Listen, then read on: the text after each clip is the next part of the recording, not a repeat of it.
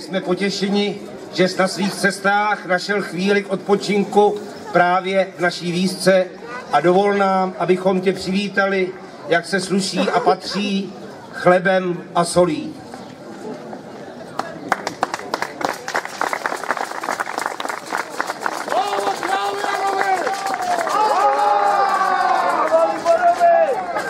Pane Richtáři, milí lidé Kačický, dovolte, abych vám poděkoval za milé přivítání tímto velmi skvělým okem, ale myslím, že můj syn bude muset něco ještě z Burgundska dovést v letech následujících.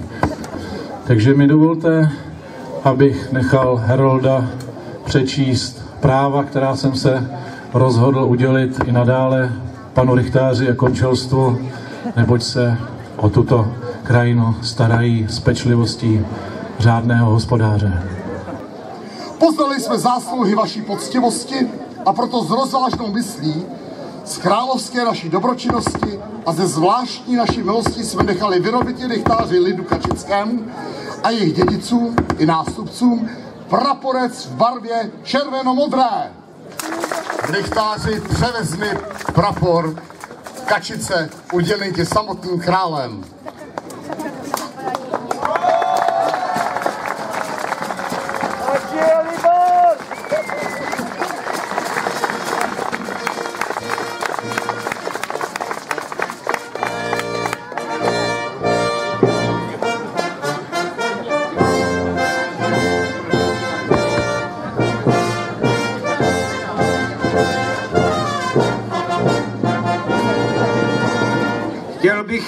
Velice poděkovat panu králi za udělená práva.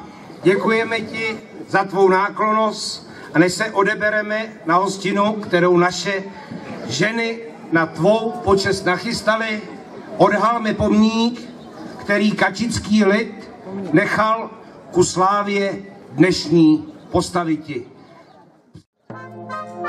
Provolujeme